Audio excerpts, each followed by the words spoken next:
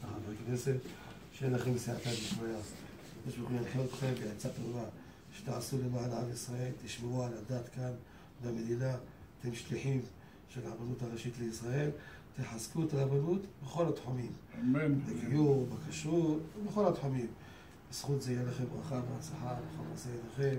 הקדוש ברוך הוא ימלא משאלות ליבכם לטובה ולברכה. אמן. בריאות איתנה, איכות ימים ושנים. אמן. שיהיה לכם ברכה אמן, והצלחה. הרב, תצליח. אני- הקטן.